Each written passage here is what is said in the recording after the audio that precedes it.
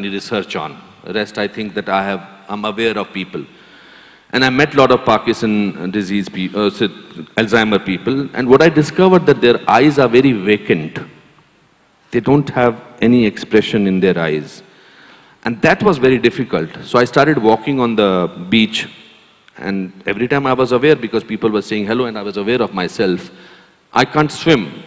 So one day, early morning at six o'clock in the morning, I decided to walk into the sea.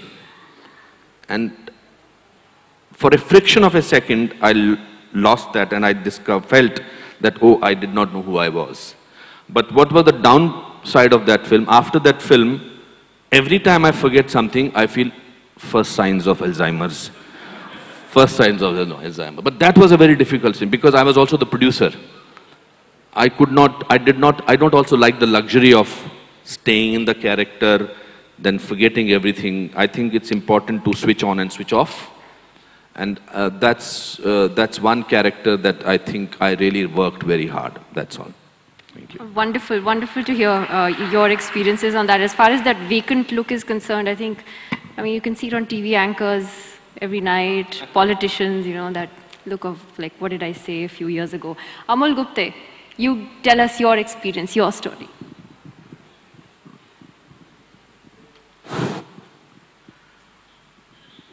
One can uh, see it in a three-pronged way. Uh, one is uh, cinema itself. So cinema itself frightened my pants off me because I was all of three and a half and they were projecting Laurel and Hardy in the Ganet Ganpati Utsav. And everybody was laughing and I was shrieking with fear because here were these two guys hitting each other and climbing over each other. And I said, What is happening here? As a child, I remember complete fright for the medium, though I was exposed to uh, musical theatre of Marathi uh, much before that. So that was first fright.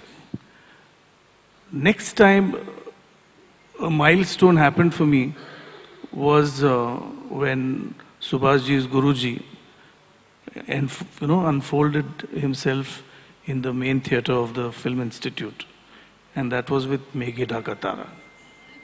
With Meghe Dhaka Tara. I think it was a life changer for me because I couldn't reconcile with the truth that for nearly two hours after the film had finished, I could not stop my tears. I said, This is something which is which is changing the subterranean of my thought. And this is something that one should try and achieve in life. That it should pierce deeply into people's hearts and minds if you were to present something.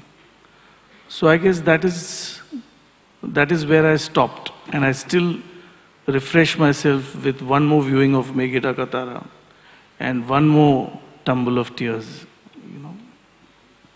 you, you keep watching it again and again. Yes.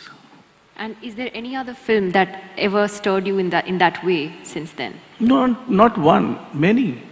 There is uh, Acharya Atre's Shyamchi Aayi, which is an important film, the first president's gold medal.